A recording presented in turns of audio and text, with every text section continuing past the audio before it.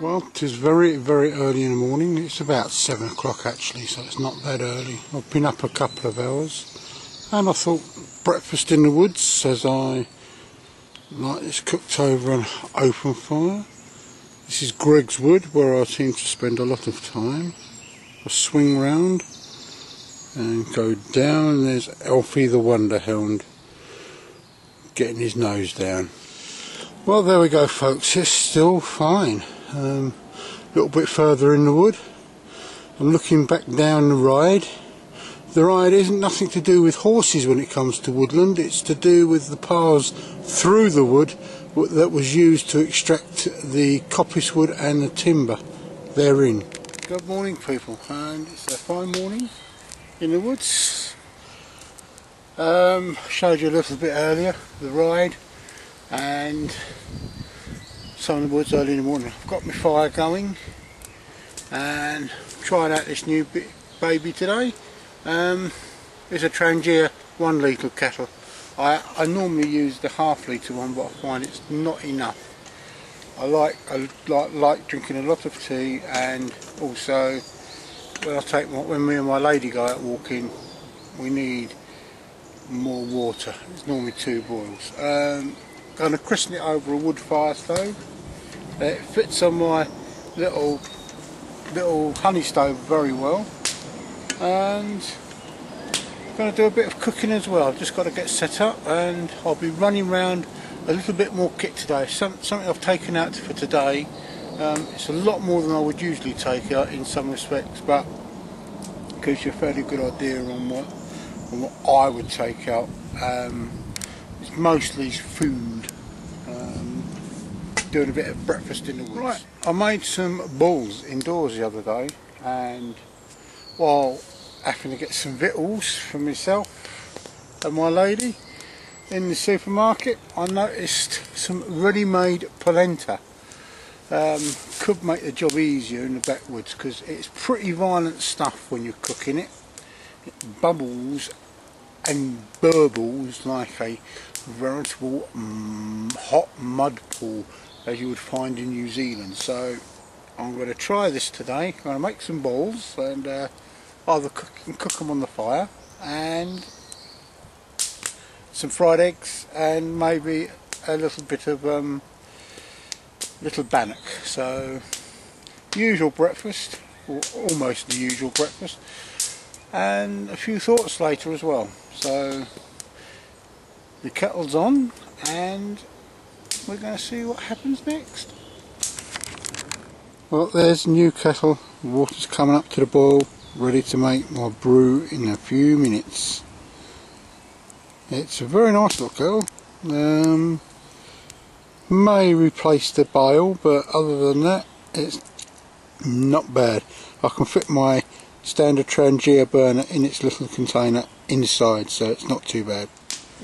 Well, I've just opened the polenta and sadly it's not soft enough to um, mould into balls so I'm going to fry some up with the eggs. Um, looks like I'm going to have to make it but what I'm going to try and do is cook it at home and then make the balls up, take them out with me rather than try and do it out here because it is awful stuff to cook. Well it isn't awful, it's just it's just quite violent when it's cooking and the pot requires a lot of cleaning afterwards and I'll speak to you in a moment.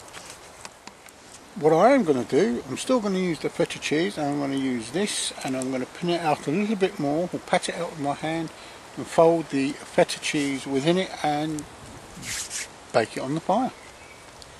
See what we have. This is my uh, this is my bannock or soda bread mix so it will be an interesting combination. Well, um, the ash bannock stuffed with feta cheese came out rather well. Halfway through eating it now. Um, I'll finish with my experiments on cooking on the ashes. As far as bannock goes, I'm going to make up a small hot plate with a large A10 tin lid and use that partly for convenience. It's it's nice to be able to move stuff around and it's a little bit difficult when when your ash cakes are stuffed full of ashes basically. Um, been a nice productive morning really, experimenting.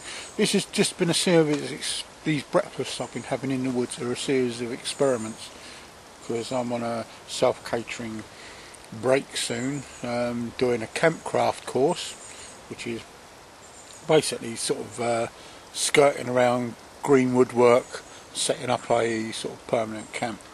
And I just want something other than than a packet soup with pasta which seems to be the mainstay of a lot of um, camp meals. Prefer to cook from scratch and this is what I'm working towards. Um, as I said the the bannock stuffed with feta cheese, very nice. Disappointed with that polenta that I bought that was ready cooked. Great as it is, I mean it tastes very nice, you know, you can fry it up and do all sorts with it. But as for making balls with, unfortunately too hard. have to work from scratch on that one. Um, well, Alfie's itching to go home or for a walk and I'm got to finish this, clean up and well folks I'm out for a day in the woods. And the last kit video just showed you for the short walk. This one is more for a day out. And also something that I forgot to add in the last video. Um, you got food. I've got this is for woods only.